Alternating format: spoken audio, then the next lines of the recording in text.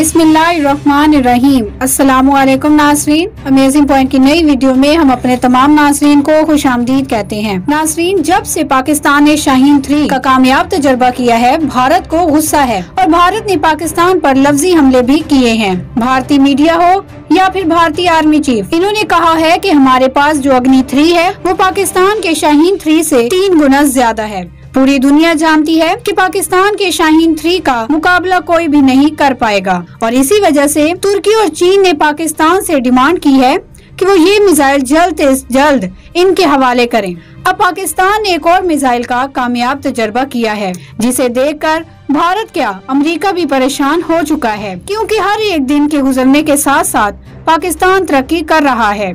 और यही चीज़ भारत और बाकी जितने भी यहूदी ममालिक हैं, उनको परेशान कर रही हैं। नाजरीन, पाकिस्तान का एक और ब्लास्टिक मिसाइल का कामयाब तजर्बा। ये एक ऐसा मिसाइल है जो कि ज़मीन से हवा के अंदर आसानी से अपने टारगेट को निशाना बना सकता है और इसकी स्पीड सबसे ज़्यादा है। भारत का अग्नि थ्री क्या? भारतीय जितने भी मिसाइल हैं, वो भी अगर ले आए तो इसका मुकाबला नहीं कर पाएँगे। अब मिसाइलों की इस जंग में दोनों ममालिक एक दूसरे के खिलाफ लफ्जी हमले कर रहे हैं।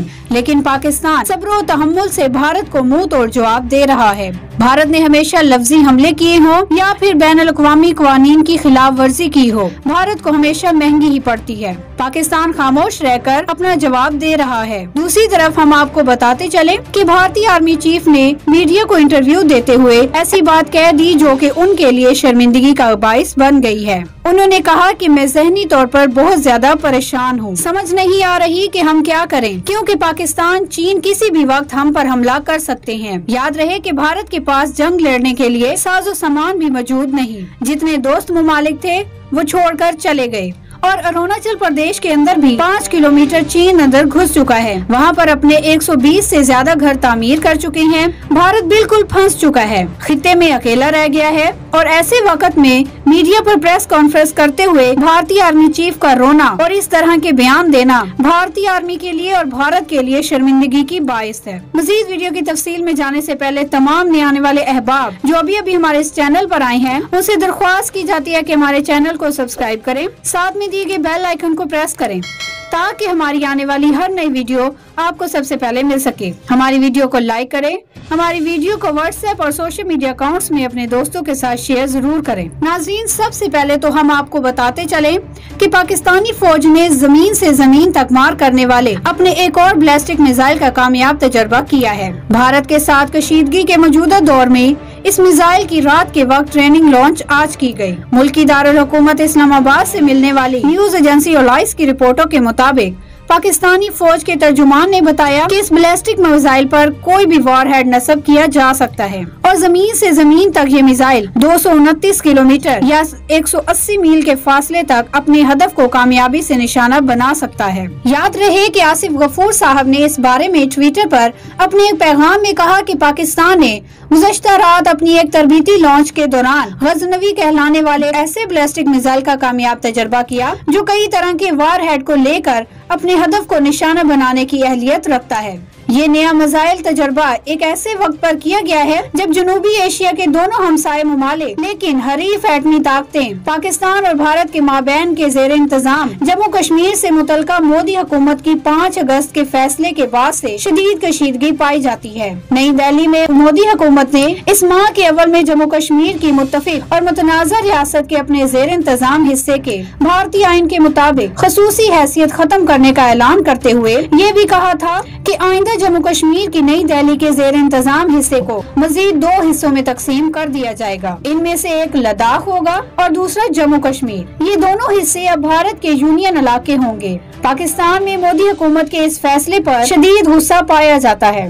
इसी वजह से इस्लामाबाद ने भारत के साथ अपने तमाम तजारती और ट्रांसपोर्ट रबते भी खत्म कर दिए हैं। और इस्लामाबाद में तैनात भारतीय हाई कमिश्नर को भी मुल्क से निकाला जा चुका है। अब भारत को इस बात का गुस्सा है कि पाकिस्तान उनके हर फैसले में दरअंदाजी करता है और इनके खिलाफ स्टेटमेंट जारी कर रहा है। और भारत के साथ जंग करने के लिए पाकिस्तान ने अपनी तैयारी मुकम्मल कर ली है।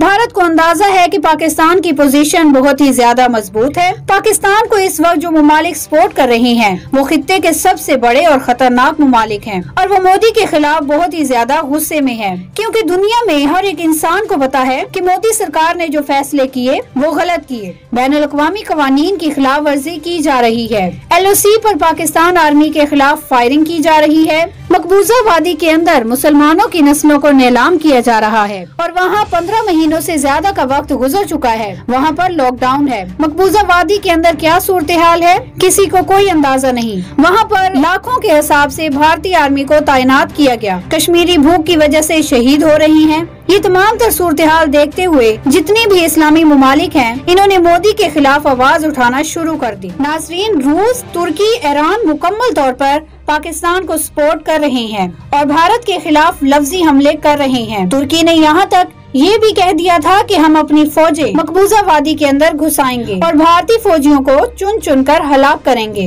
बस इंतज़ार है तो इमरान खान साहिब और कमर बाजवा का। याद रहे कि रजब तैयब उर्दगान को मुसलमानों का हीरो भी कहा जाता है। आज देख लें कि अजरबैजान को उनकी ज़मीन वापस मिल चुकी है। तो इसके पीछे तुर्की के सदर रजब तैयब उर्दगान की बहुत ही ज़्यादा सपोर्ट है, क्योंकि तुर्की के एफ़ सोलह ने आर्मीनिया की धजिया उड़ाई थी, जब से इन्होंने मकबूजा वादी के हक में स्टेटमेंट दी थी। तब से मकबूजा वादी के अंदर नारे लगाए जा रहे हैं। और कहा जा रहा है कि जल्द से जल्द तुर्की की आर्मी आए और भारतीय फौजियों को चुन चुन कर हलाक करे।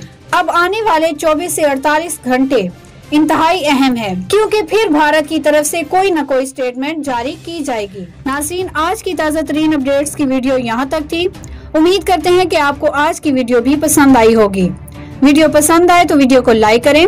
वीडियो को व्हाट्सएप और सोशल मीडिया अकाउंट्स में अपने दोस्तों के साथ शेयर ज़रूर करें। और अपनी कीमती राय का इजहार हमें कमेंट सेक्शन में ज़रूर कीजिएगा। और अगर आपने अभी तक हमारे चैनल को सब्सक्राइब नहीं किया तो आपसे दरख्वास्त की जाती है कि हमारे चैनल को सब्सक्राइब करें। साथ में दिए गए बेल आइकन को प्रेस करें, ताकि हमारी आने वाली हर नई वीडियो आपको सबसे पहले मिल सके। हम मिलेंगे आपको नेक्स्ट वीडियो में, तब तक के लिए अल्लाह हाफिज़।